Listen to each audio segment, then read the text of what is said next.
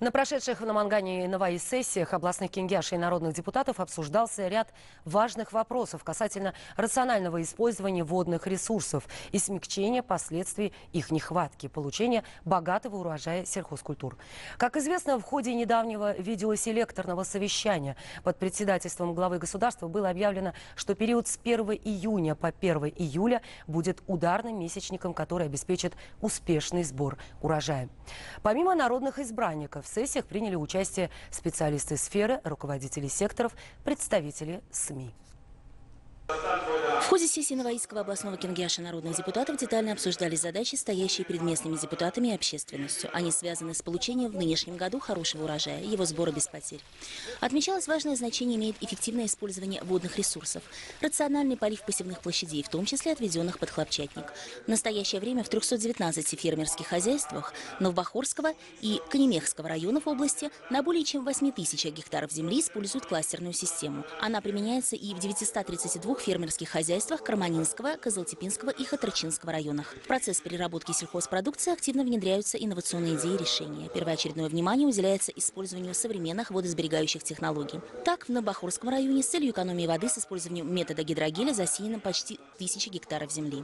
Для фермерских хозяйств закуплено дополнительно 120 дизельных насосов, 20 насосов марки ЭЦВ, а также современная сельхозтехника, запчасти, лабораторное оборудование на более чем 34 миллиарда суммов.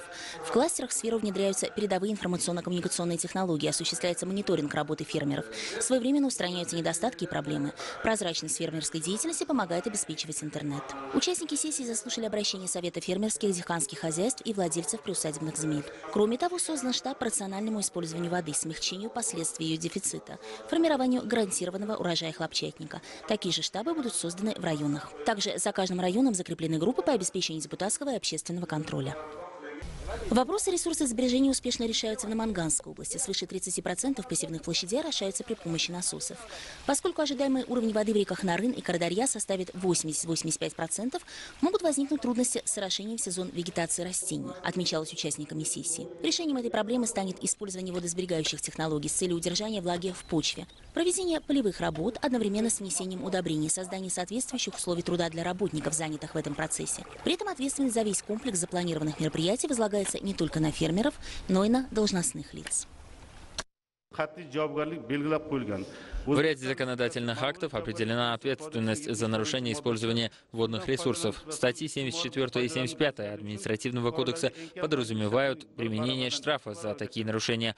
Аналогичные действия строго караются и в соответствии с Уголовным кодексом. За пять месяцев текущего года нашей инспекции зафиксировано 30 случаев таких нарушений. По отношению к виновникам приняты административные меры. В ходе проверок, проведенных специалистами агропромышленной инспекции 2-3 июня, выявлено 43 случая нарушений установленных норм использования водных ресурсов. Сравнение этих показателей свидетельствует о недостатках в работе инспекторов областного управления инспекции и требует усиления контроля за реализацией поставленных задач.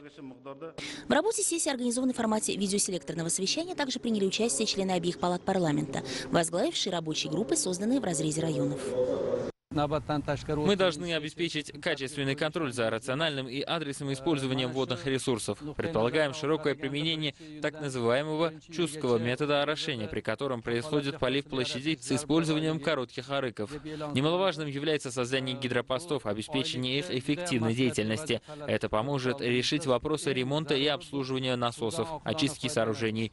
В осуществлении намеченных задач теперь особую роль сыграют и депутаты местных кингашей, и члены двухпалатного парламента. Они будут вести совместную деятельность в составе рабочих групп и оказывать практическую помощь фермерам и дехканам.